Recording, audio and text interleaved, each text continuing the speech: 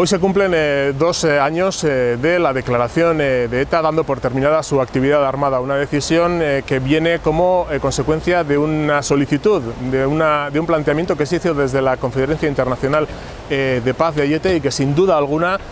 visto dos años más tarde, abrió un nuevo tiempo en la política vasca y también un nuevo tiempo para la sociedad en conjunto de este país. Pensamos que es una, una decisión eh, una decisión valiente que buscaba precisamente lo que está ocurriendo, la apertura de un nuevo tiempo político y sobre todo ensanchar las posibilidades del camino para la paz y la normalización social eh, y política eh, de, este país. En contraposición a esta decisión podemos ver cómo el Partido Popular desde Madrid, el gobierno español en su conjunto, ha adoptado una posición que además de tratar de impedir el avance del proceso de paz, de que las consecuencias del conflicto vayan teniendo eh, soluciones paulatinas según el desarrollo de ese propio proceso, además de todo eso, está tratando de poner en marcha un proceso de involución, volver a la situación que este país eh, padecía antes de esa decisión de ETA de hace, hace dos años. En principio, una postura adoptada a nuestro entender porque el Partido Popular es especialmente débil eh, en lo político, es consciente de esa situación y quiere impedir eh, bueno, pues a costa de lo que sea, que ese momento de confrontación de ideas, de confrontación política democrática eh, tenga lugar en, este país. Pensamos que es muy importante para la situación global, para el desarrollo, la viabilidad del proceso de paz,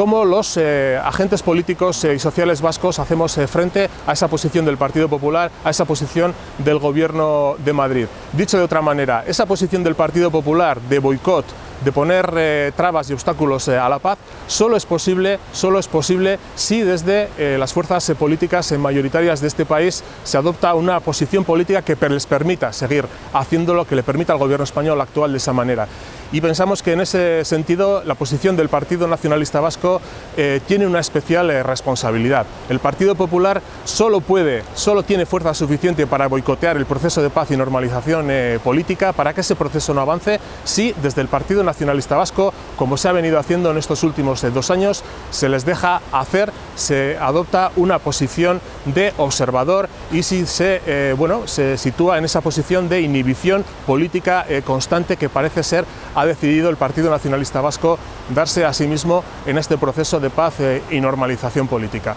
Por lo tanto, queremos eh, subrayar que para nosotros es muy importante que la filosofía de la vía vasca sea también, esté presente en lo que se refiere a la resolución del conflicto. Estamos eh, insistiendo eh, en ese concepto, vía vasca para la soberanía, vía vasca para la justicia social, pero también es necesario que desde ese planteamiento se unan fuerzas desde, distintas culturas políticas en un interés de país para poder llevar adelante el proceso de paz, el proceso de resolución política que